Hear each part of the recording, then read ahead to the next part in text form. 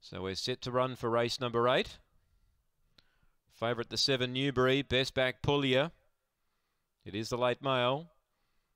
And that's number three. Set to go. The green light is on. Ready here. Racing, speed here from Newbury. There's speed also in box four from Webleg Breeze, who collided with Puglia and out deep. Getting the fly was Newbury now. Gets away from Let's Go Fury. Deep out Big Fellow. Running on Headwood, then making ground Puglia and Sully's Girl, but Newbury's home. Headwood second. Puglia got up for third. Fourth Major Tom Fury, I think, from Big Fellow. Uh, Webleg Breeze and Sully's Girl and Let's Go Fury, the last pair home.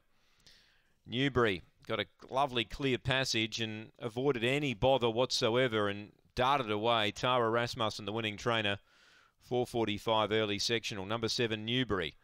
Too strong for these. Put a gap on them. Headwood's got home into second, number two.